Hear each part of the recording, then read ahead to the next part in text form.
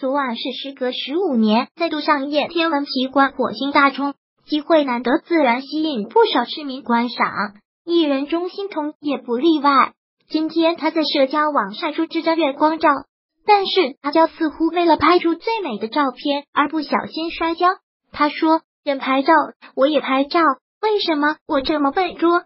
虽然有点吓人和血肉模糊，但是不晒出来又感觉对不起自己。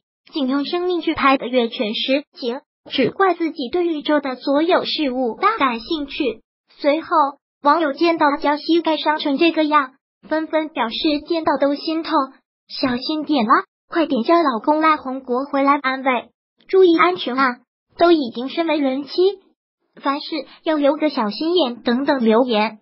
不过阿娇这个膝盖伤也算值得，月全食也不是天天都有的，阿娇也只是想要台下这个漂亮的月亮跟大家分享而已，只是没想到突然发生这样的事情，谁也不想的。也是谁都不会猜到的，能看到他给大家拍来一个非常棒的月全食，真的很用心了。此处应该给他点赞。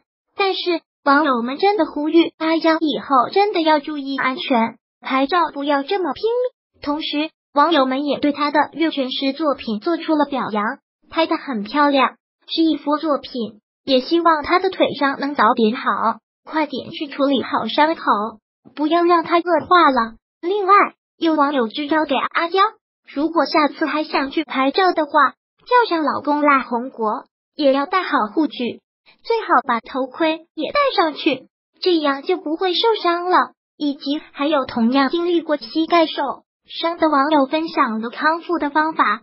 这位网友留言写道：“膝盖受伤好的过程会很慢，如果想要它快点好的方法，就是不要一直走动，需要好好的休息。”甚至还有网友留言说，之前自己也有这样的经历，想要快点好，不留疤，最好把伤口处理好。